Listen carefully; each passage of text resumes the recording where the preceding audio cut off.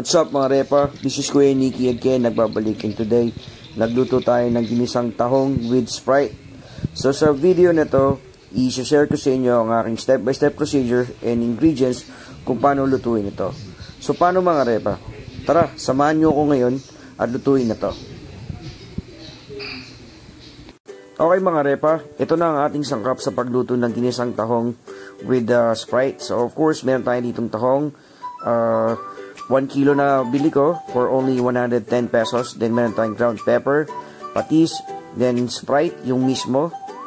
Uh, meron tayong bawang, sibuyas, uh, luya, and also malunggay. Tapos isosotay natin to sa butter, pero gagamit tayo ng mantika para hindi kagad malu masunog yung, yung butter. So sa lutong ito, I would suggest very affordable, very healthy, at napakasarap ng ganitong recipe.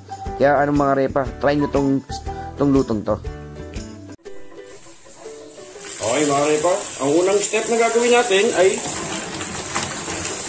ano muna natin ng tubig ang ating tahong, ibababad natin to, kaya natin siyang sumuka ng mga dumi. Then, tatanggalin natin yung para mga ganito, yung mga lumot-lumot niya. Yan, bababad natin yan siguro mga isang oras, dalawang oras para sumuka.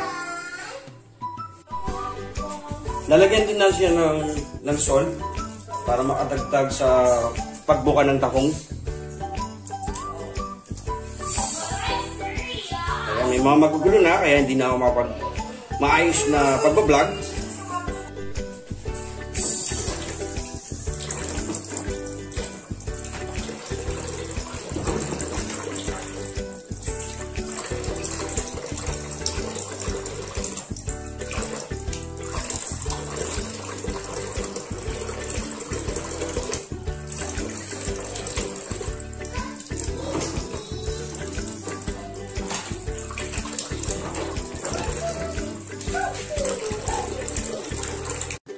Okay mga repa, so ito, nagpakulo na tayo ng ating lutuan. Tapos naglagay tayo ng uh, mantika. Then magtutunaw tayo ng butter. Hindi ko dinirect si butter dito kasi uh, nakakasunog ng butter yon. So may halong mantika yung gagamitin nating pang ano, pang pang saute o pang gisa. Ayan, i-melt lang natin siya. Then afterwards, mag-add na tayo dito ng onions. Yan, konting gisa lang.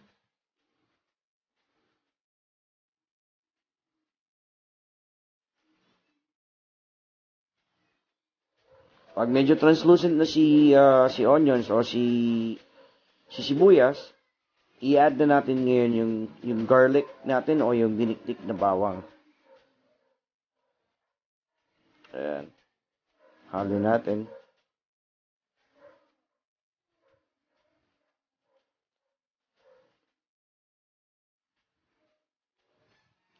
After nyan, i-next na natin ilagay si luya. Yeah, so, i-saute lang natin to. So, o, o nga pala. So, itong ginawa ko ngayon na ginisang tahong with Sprite, uh, napaka-affordable nitong lutong to, pero napakasarap. Ito, nag-add pala ako ng dalawang uh, sandok ng, ano, ng patis. Ito yung ginawa kong pampaalat. Hindi ko na dinagdagan to ng ibang alat pa. Kasi saktong-sakto na yung lasa niya. Yung output niya kanina. So, yan, sinama ko sa, sa si, uh, si patis.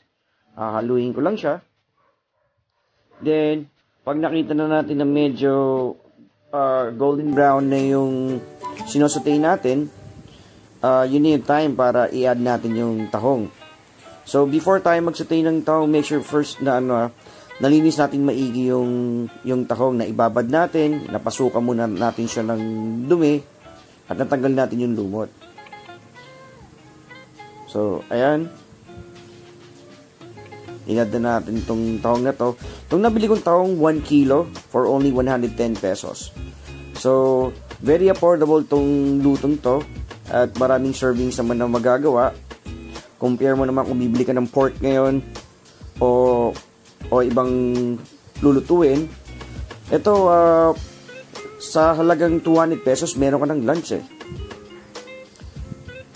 Ayan. So, igigisa na natin to. Then, after, pag napansin na natin na na halo natin maigi na yung sinosatay nating tahong, i-cover muna natin siya o tatakpan para mas mabili, mas mapadali yung pagpapakulo natin. Pero yan, nag-add ako ng pepper. Sa pepper, uh, tansya-tansya lang din ako. Hindi naman lahat kailangan malagyan. Pero, siguro, ang hirap sa, sa, sa measurements eh. Pero, tansyahin na lang din, conforme sa, sa ano nyo nang lulutuin nyo.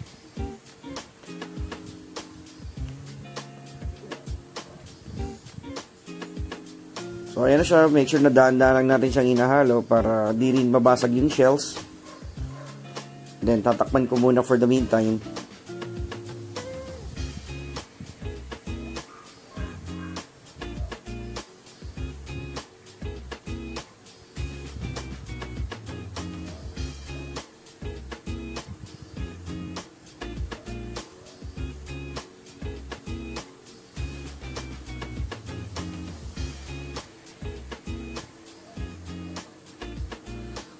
Okay.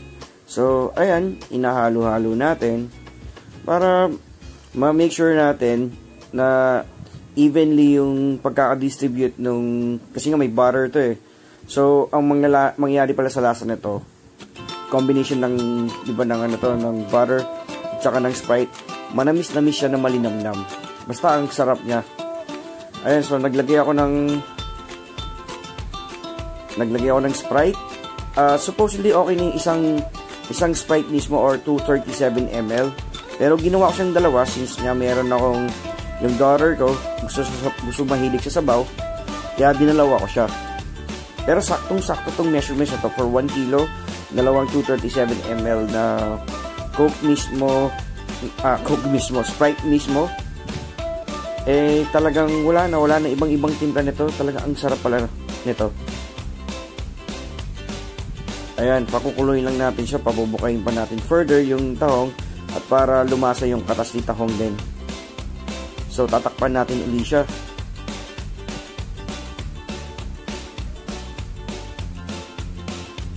Ayan, observe, observe lang natin.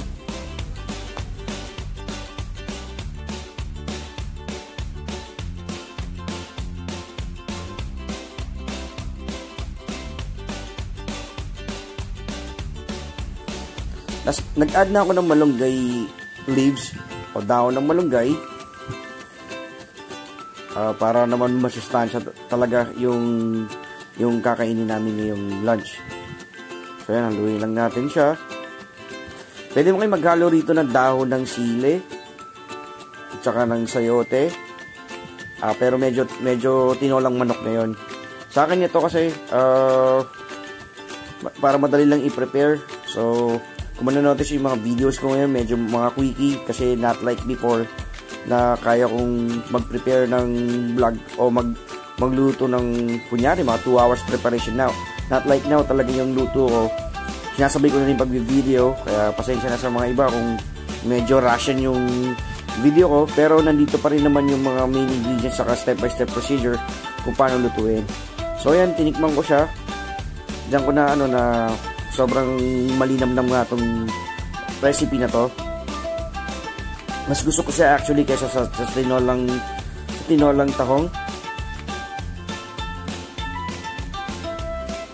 Pero pwede naman siguro i-combination nyo yung, yung Sprite sa, sa tinolang manok. At tinolang manok tuloy, tinolang tahong.